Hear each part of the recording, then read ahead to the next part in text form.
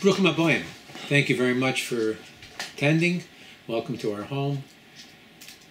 The uh, again, as I mentioned before, at the end of the lecture, if there, anyone on Zoom wants a question, please unmute yourself and ask. If not, we'll continue with the second part. Um, the uh, anyone who's not on Zoom that wants to be, again, on the left-hand side, at least my left-hand side, probably your right, uh, is the uh, hookup for Zoom. Uh, this week, the the uh, topic for my thoughts is evil from birth. So this statement, excuse me, evil from birth, is taken as a quote from the Torah in Genesis in the book of Bereshit. Uh, it was said by God after the flood, after Noah had built an altar and brought sacrifices to God. The verse states that God smelled the appeasing fragrance, and God said to himself, Never again will I curse the soil because of man, for the inclination of man's heart is evil from his youth. It also states in Genesis that sin is crouching at the door. What does that mean exactly, that sin is crouching at the door? We are told by our sages that while a baby is in its mother's womb, that there is an angel that teaches it all the Torah. On the first Friday night after the child's birth, uh, before his circumcision, there is a custom to have what's called a Shalom Zocher, to greet the male child. It's sort of a party of sorts where we welcome a newborn child into this world. Now, the event has both a positive and negative connotation. On the one hand, after all, we're celebrating the fact the child has entered into a Shabbos and that it will shortly be entering into the covenant of Avraham Avinu of Abraham our father. Again, circumcision, bris milah. On the negative side, though, we lament with him that he has lost all of the Torah that the angel had taught him while he was in his mother's womb. We have a belief that just before a baby is born, that an angel places its finger on the upper lip of the child, which causes it to forget all that it has learned in its mother's womb. The question arises really, how is it possible that the angel that taught the child all the Torah would then be instrumental in taking away, taking it all away? Our sages tell us that, the, that an angel can only perform one task at a time. As we see in the portion of Vayera where Abraham, Abraham is visited by the three angels on the third day after his circumcision. Each one of the angels that visit him come to fulfill their own specific mission. So, question becomes how is it possible for the same angel to give and then take away all the child's Torah knowledge that it learned in its mother's womb? I believe that the angel that makes the child forget all that he has learned while in his mother's womb is not the same angel that taught it all the Torah initially. As the verse stated in Genesis again, that sin is crouching at the door. And I believe that the reference to this sin that is crouching is really the Satan, what we refer to as the devil. It is he who takes away all the Torah that the newborn child was taught in his mother's womb. No other angel would volunteer to perform such a negative mission. You know, very few things in life are absolutes. There generally exists both a negative and a positive opportunity, possibility. Both of these possibilities exist with the loss of the Torah knowledge that the child has acquired. The negative side is easily recognizable. After all, the child has lost all the Torah that had been taught while in the womb. So, what positive could there possibly be then? And the answer that the commentaries tell us is that now the child can earn his Torah knowledge rather than receiving it as a gift. You know, we appreciate those things that we work for much more than those things that we are given. When someone inherits his money, well, they spend it. If they earn money, they put it in the bank. The Talmud tells us that a person would rather have one bushel of his own wheat than nine bushels of someone else's.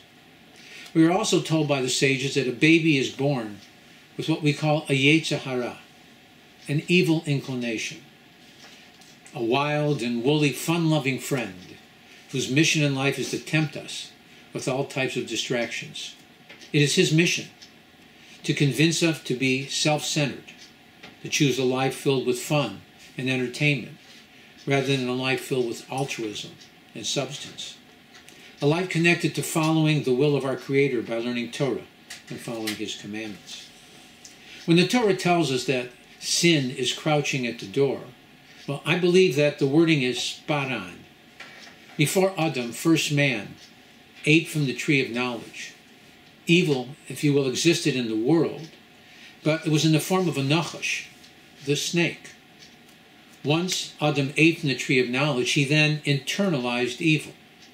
Now, instead of evil being an external force, the snake, something that we could recognize and then try to avoid, he allowed it to become an internal force connected to our subconscious, something that knows us even better than we know ourselves. It tries to dominate all of our thoughts and actions, and sadly, is very successful. It is not until the age of 13, when a young boy becomes a man, then he is then introduced to what we call his Yetzer Tov, his good inclination. Now, truth be told, this new friend, well, he's a bit nerdy and a bit boring. He only wants to learn. He only wants to follow a path of goodness and self sacrifice. You know, he wants to connect to the path of his Father in heaven and make him proud. He desires a life of substance. He's not interested in the frivolities of life. He's neat, clean, focused, all, all admirable traits. But you have to admit, the Yetzer Hara is a lot more fun to be with. So God, so to speak, stacks the deck against us.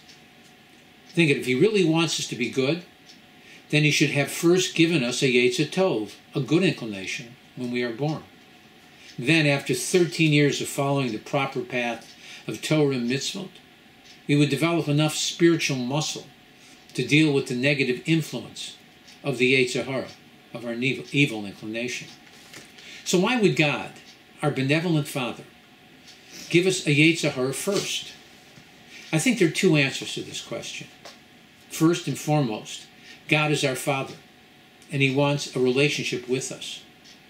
Since He created us evil from birth, in truth, the only way we can even have a chance of succeeding in our mission in life is only with His godly assistance. Without that, we are doomed to failure. So He created us, He, pardon me, He created a scenario whereby we need Him to be part of our daily lives. What we refer to as Siata Dishmaya, the help of heaven. Secondly, as a benevolent Father, I thought that He gave us a defensible position, one that we could use at the end of time on our day of judgment. When we would ask, be asked by the heavenly court, Why did you sin? We could answer, Hey, it wasn't our fault. It was our evil inclination. We could say, The devil made me do it. After all, by the time that we received our good inclination, it was already too late. Sinning had already become habitual, a way of life for us. So the court would have to pardon our transgressions due to the extenuating circumstances beyond our control and allow us entry into heaven. I like the answer, but I'm afraid that it may not be correct. Yes, the Torah is very clear. The man is created evil from birth, uh, but that may not be God's choice. We have a belief in Kabbalah, according to uh, with, with something that we call Gilgulim, previous lives lived. Based on that belief, basically we are all old souls. We have all lived previous lives at different times throughout our journeys in this world. We even see this fact expressed with Moshe, Moses, the greatest of our prophets. The name Moshe is an acronym for the three lives that he lived. The Mem stands for Moshe, the Shin for Shase, Seth, the third son of Adam, first man, and the Hay for Hevel, Abel, Adam's second son. So one way to look at this concept of what we call Gilgulim is to compare it to someone who has graduated college with a degree in accounting.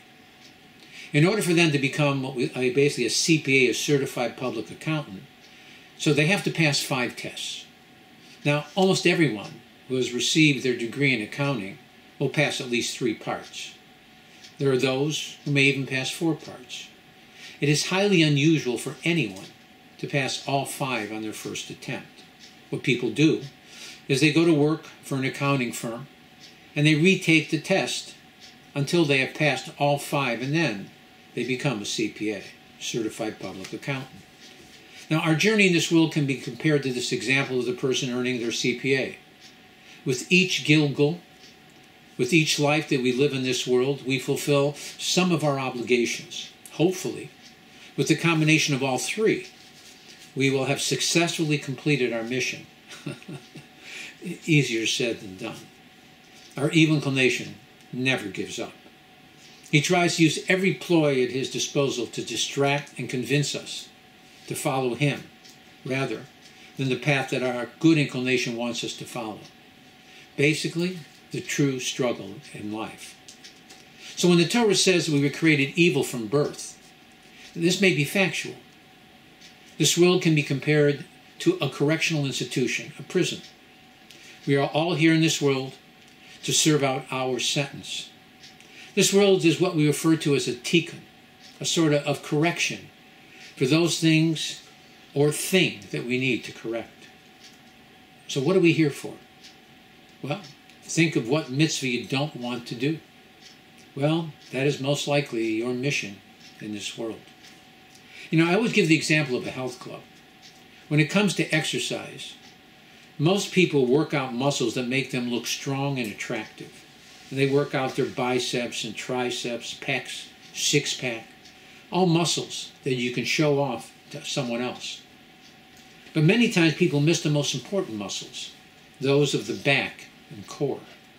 Regardless of how strong you may look, if your back and core are weak, well, you're in big trouble.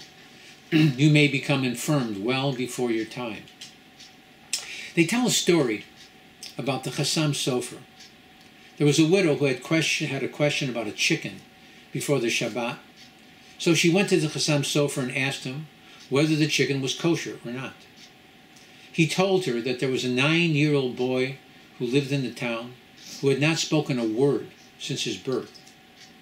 He told the widow to show the chicken to the young boy and ask him whether the chicken was kosher or not. So, without hesitation, she went to the boy and asked him. She said, kosher or treif? He answered, kosher. And then he died on the spot. Well, you can imagine that this incident caused quite a big bit of stir in the town. How was it that this boy, who never spoke a word before, was suddenly able to speak? And then why did he die? So they went to the Chassam Sofer for an explanation. He told them that the boy was really a righteous individual who had lived in a previous life.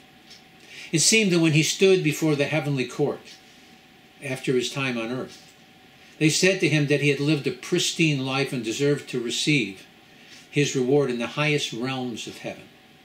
However, there was one, one blemish that would prevent him from reaching the heights that he truly deserved. It seemed that one Friday afternoon, shortly before the Shabbat, a widow had come to him with a chicken and asked him whether it was kosher or not. He was in a hurry, and he didn't take the time to examine the chicken properly.